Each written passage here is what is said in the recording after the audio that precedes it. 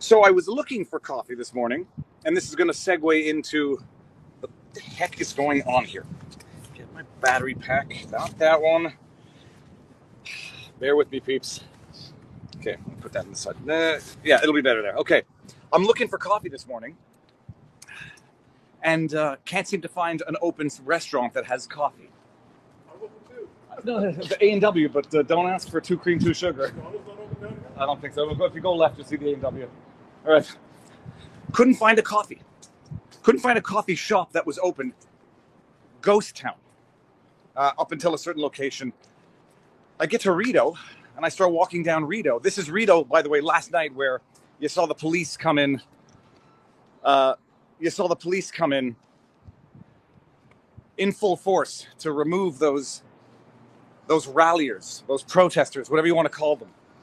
Last night, I saw probably as many police officers as participants in the rally, officers in their flanks holding their weapons. I should say firearms, except the way that they were uh, holding these firearms was uh, in order to be weapons.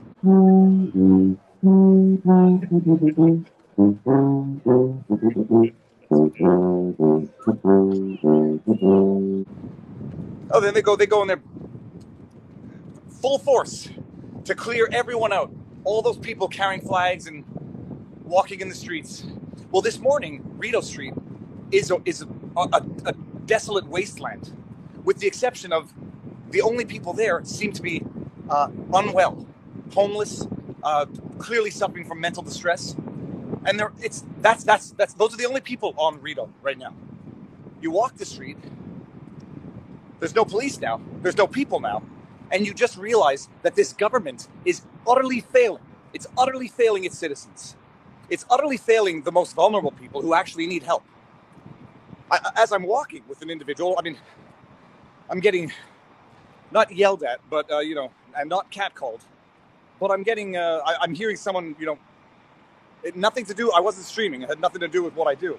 Just an, a mentally unwell individual yelling at me, and I start walking side by side another individual who I think was from Jamaica, and was saying, the government's failing. The government is failing the people. They leave the homeless, they leave the people who are mentally unwell to the Salvation Army, as if as if the Salvation Army has the resources to deal with this. No, but the, but the government can come in with, I don't know how much that police force costs per day. I can I can do the math, and then I have to multiply it by one and a half if they're actually on uh, hazard pay or overtime. The government can come in with a militarized police force to clear out peace loving Canadians. But it can't come in with the required services to help the mentally ill, the mentally unwell, the homeless, the drug addicts.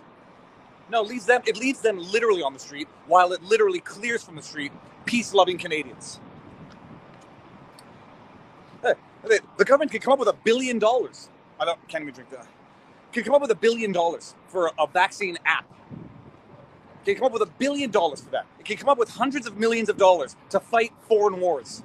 Hundreds of millions of dollars monthly to pour military aid into foreign conflict, and it's got its own citizens sitting there, cold, suffering, mentally unwell, on the streets.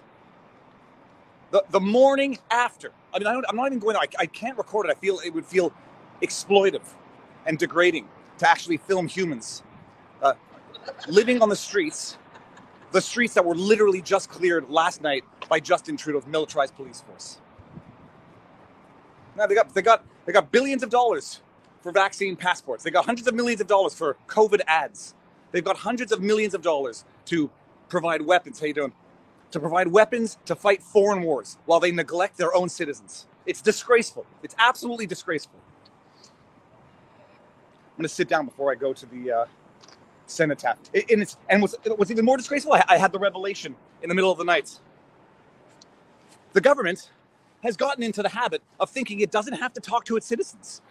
You remember the, the, the, most shocking, insulting, pathetic, authoritarian thing that Justin Trudeau did during the entire three week process?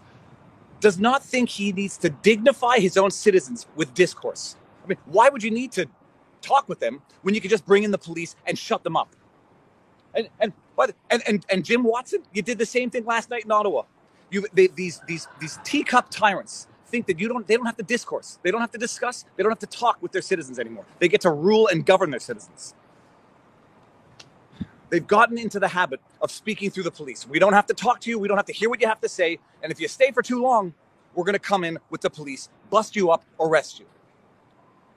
There's some police coming down They're going to, they're going to hear it. I can't. I'm not. I'm, and and, and what was, I just about to say?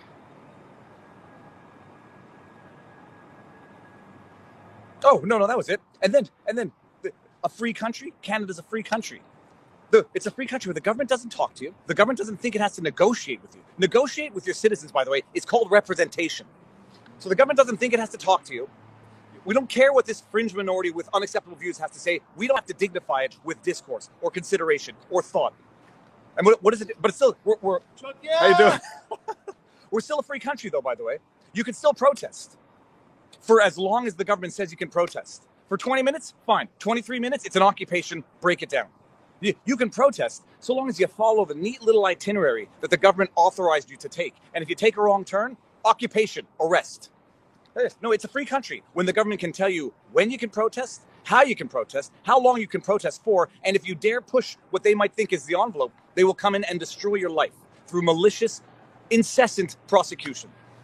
They have all the money in the world to prosecute Tamara Lich, to prosecute Pat King, to prosecute, geez, uh, uh, Brian Peckford, to prosecute Randy Hillier, uh, to, to prosecute rather, to litigate with Peckford, to prosecute Randy Hillier. They have all the money in the world to waste on judicial systems, re- judicial resources, prosecutorial resources, all the money in the world for that. Go down there and talk to the homeless people. I It would be nice if the government gave them as much attention as it gave those those those rowdy protesters.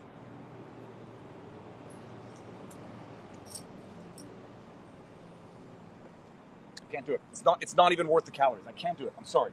A and W. This is nothing against you or your coffee. But your coffee sucks. Okay, I'll find a coffee later on. Oh, no, no, the coffee's no good. The Coffee's way. Someone said coffee. Welcome to China. They, they- it's it's just atrocious, and the amount of money that they're wasting on police today, walking around, drones in the sky. For this, by the way, this is it.